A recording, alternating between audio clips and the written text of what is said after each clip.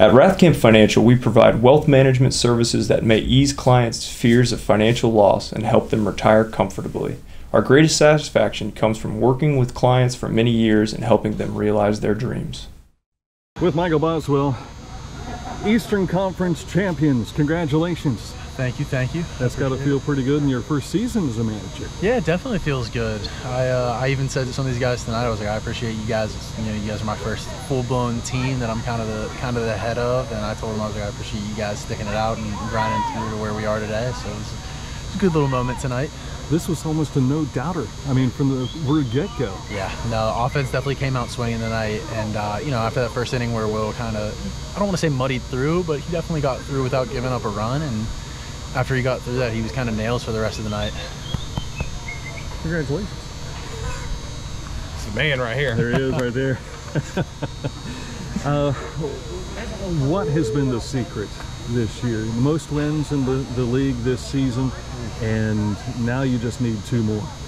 I think the secret has been letting these guys have a little bit of fun, you know, in, in school ball. And like I, I graduated assistant up at, up at Tiffin University this previous year, and school ball is a little bit different. You know, there's it seems like there's a lot of pressure on every single swing, every single pitch, and you know, over the summer. And like I played summer ball as a player, so like coming mm-hmm. in, it's just kind of like let's let's let these guys have a little bit of fun, relax for the first time probably in four, five, six months. And once they realized that they were kind of around a guy that was like we can have a little bit of fun and kind of like be ourselves. I think it kind of just let them let them be themselves and, and take good swings and, and have good innings and have good practice days and, and take good BPs. So it's always been it's always been kind of happy-go-lucky around here. So definitely I guess the, the big secret for me.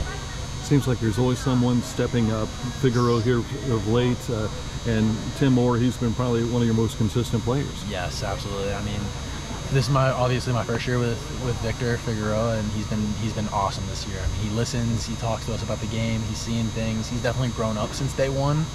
Uh, but a guy like Tim Moore, I mean, I, I, played with him for, for two years. I coached him for a year, and the fact that he's still here is is awesome. And he's always been one that kind of kind of took the leadership role on his shoulders and just kind of it's not a loud leadership role for him, but he's always been the guy to kind of like just lead by example and, and, expect the most out of guys. And that's how I always was as a player, and that's why we kind of got along when we were teammates. And especially now that, that I'm more of a, of a coaching position, obviously. But it's been it's been nice having a guy like Tim Moore around. And it's kind of a surprise he's still with the team.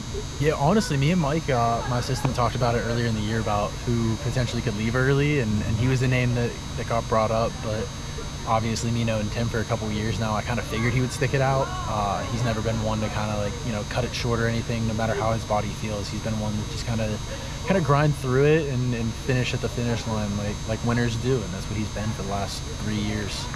A shortened game because of the run rule, yes. 12 nothing victory.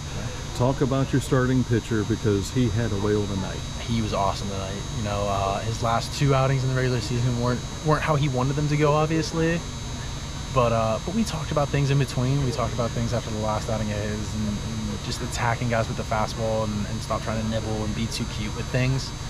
And uh, I think that definitely hit home with him tonight. He uh, he came out of the first thing I told him was, "You're going back to the same old, same old. Where you're trying to be too fine with pitches." Was like, I was like, "You were a good pitcher." I was like, "Be that tonight. Attack these guys with the fastball. Put a guy, put guys away with a breaking ball." And that's exactly what he did. And can't ask any more of the guy to go out and throw what six and six and two thirds, one hit, and, and just kind of flat out dominate. So that's I was I was really happy to see that for him, and he's definitely put the work in the summer to, to earn that to earn that outing. And that's after 20 plus pitches in the first inning. Yeah, it was it was funny. my one of my catchers, Braden White, made a comment to him tonight, kind of kind of busting stones at the end of the game. I, I told Will, I said, "You'd be out there still if you didn't throw 30 pitches in the first inning," and he just shook his head at me.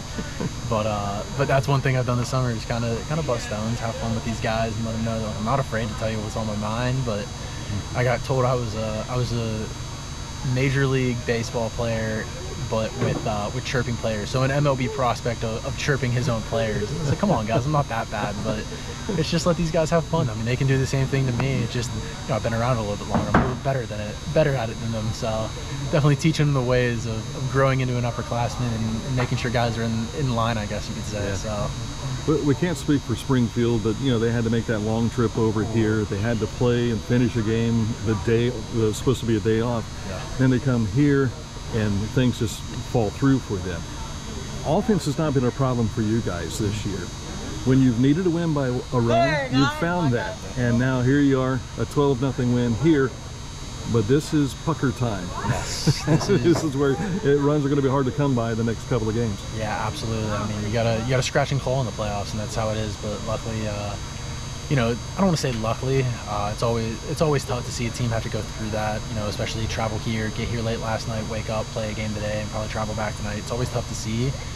But at the end of the day, it's it's how this game goes. I mean, it's it's happened to us. We've been back late at night. We've been back at four o'clock, almost five o'clock in the morning sometimes, and wake up the next day, come here and play. And you know, you just kind of kind of pull, your bootstraps up and, and you kind of get through it. And that's it's kind of the summer ball mo. I mean, everyone everyone goes through it. You know, we're not the only ones that do it. They're not the only ones that do it. So it's just it comes down to the guys that truly truly want it. I'm not saying they didn't want it or anything like that, but it was kind of nice to be able to play at home on Sunday, have a nice day off, and then come here. But we've definitely been in those shoes where you got to pull the bootstraps up and, and play the next day. So I get it. Now you have a day off. We don't know who you play yet. Uh, Quincy was leading when we last saw. Uh, you've not seen Quincy this year. You did have two with Thrillville. So Thrillville comes back. You're familiar with your opponent, but other than that, Quincy is uh, pretty dominant too. Yeah, kind of the unknown is kind of what you're diving into. I don't know when we played Thrillville, it was in the first half. I think it was the first two, maybe maybe game two or three of our like 13 or 12 game win streak that we had earlier in the year. So we definitely played them when we were hot.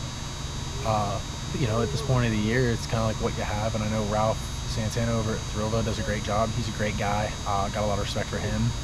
Uh, don't know anything about Quincy, so I mean, obviously, hats off to them for, for making it the way they did, and they turned the second half around. But uh, I guess going into this is kind of the same old, same old. Is you know we're gonna have the sticks ready and, and gonna kind of pitch it the way we do and kind of roll with it.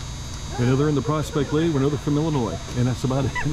yeah, it's either six, it's either seven hours or seven and a half hours or six hours. So, so pick your poison at this point. But yeah. we're ready to play play whoever it is. Either way, good luck to you. Thank you very much.